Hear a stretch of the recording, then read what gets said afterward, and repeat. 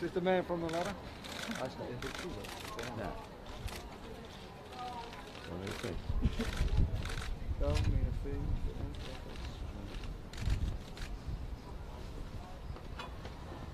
He's gonna run that right over, isn't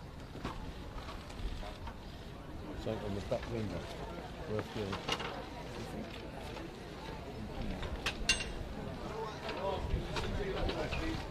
Oh, in the back.